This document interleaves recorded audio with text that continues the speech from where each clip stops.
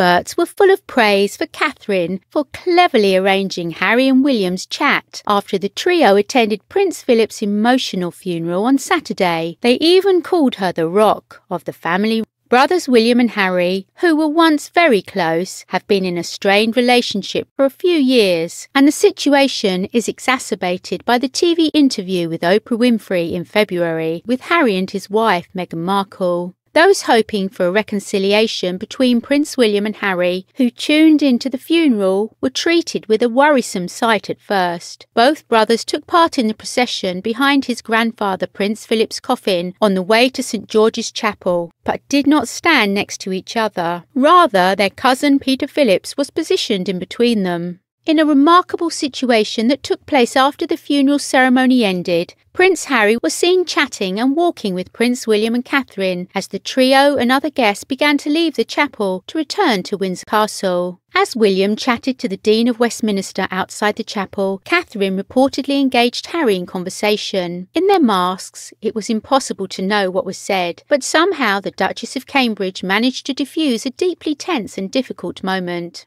The Duchess, who also gave her father in law, Prince Charles, a comforting kiss on the cheek as he was overcome with grief, reportedly tried to help repair Prince William and Prince Harry's relationship. It all happened after the emotional ceremony when Catherine started chatting animatedly to Harry. Then, instead of getting into their separate cars, Harry, William, and Catherine decided to walk back to the castle together. Moments later, the brothers walked on ahead together. As Catherine hung back to talk to Zara Tindall, the Duchess seemed to make a point of letting the brothers walk alone together. At the time, both William and Harry looked entirely natural, with no signs of stress or discord in their companionship. There was no forced show and no sign of avoiding each other. Viewers were heartened by the sight, and one person tweeted, What a wonderful sight then to see William, Harry, and Kate walking together.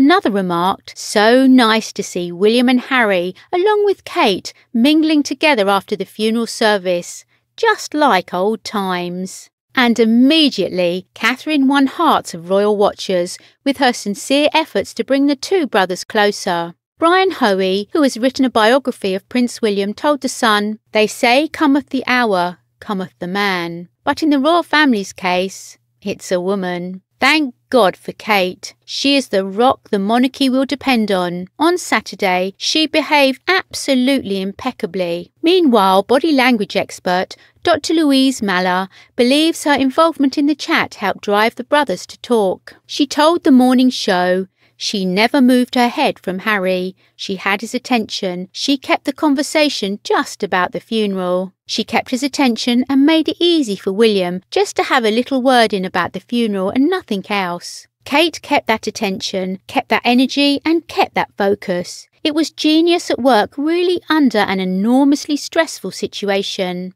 Thinking of the Duchess's presence at the ceremony and her subtle gesture, journalist Sarah Vine had a long commentary for Mail Online, which included the passage that slim hipped, fresh-faced home counties girl who caught Prince William's eye at St Andrews University 20 years ago has matured into a wise and capable woman, a dedicated and level-headed wife and mother, a beacon of style and elegance, an accomplished public speaker, and someone who emanates an aura of calm capability that seems to envelop everyone in its force field. Never was this more in evidence than on Saturday afternoon. Arriving at Windsor, she was captured looking directly into the camera, her gaze steady and serious, her demure sombre, yet impeccably stylish, calm, confident, and self composed. She conducted herself, as she always does, with impeccable grace. That the Duchess is such a class act is, of course, nothing new. Over the course of the past few years, and in particular during the pandemic, she has rarely put a foot wrong. She exudes just the right mixture of warmth and discretion, sharing unguarded glimpses of life as a royal wife without exposing herself or her family more than is right or necessary. But at Saturday's funeral, she exceeded even her own high standards. It wasn't just her poise and style, it was also the way she showed herself to be a beacon of light in the darkest of hours.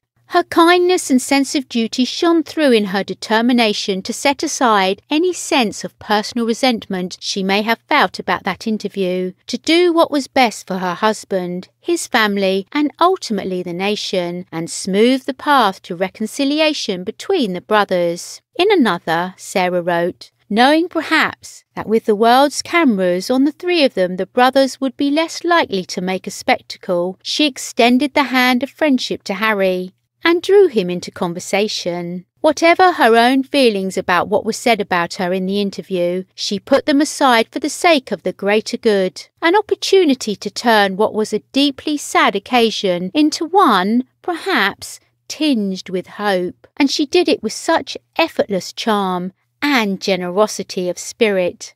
Who knows whether Harry and William's exchange will go any way towards beginning to bridge the gap between them? But God loved Kate for giving it a go, for seeing the bigger picture and putting their happiness ahead of her own satisfaction. Meanwhile, Ingrid Seward, who is the editor in chief of Majesty magazine and one of the most prominent writers on the British royal family, claimed Kate has just got beautiful manners, taught by her mum Carole. And when she sees an awkward situation, she steps in. That's why she talked to Harry.